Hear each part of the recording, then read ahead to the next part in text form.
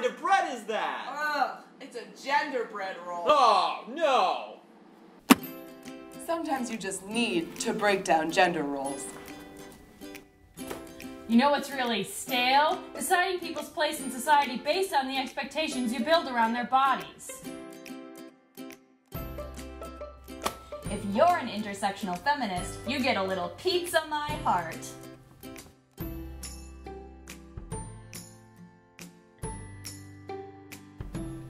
It's a pita, p pita, that you can't see past your expectations of my gender.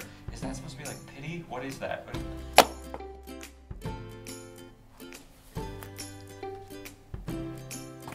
I only make 76% of the dough I'm owed.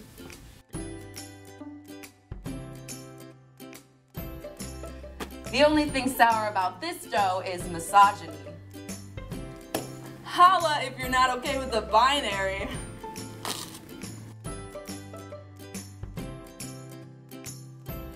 Homophobia? We'll have none of that here. You must have not heard me right. No homophobia in here.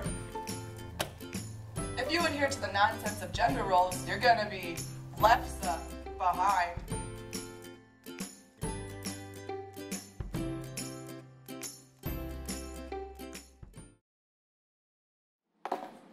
Yeah, no. Oh.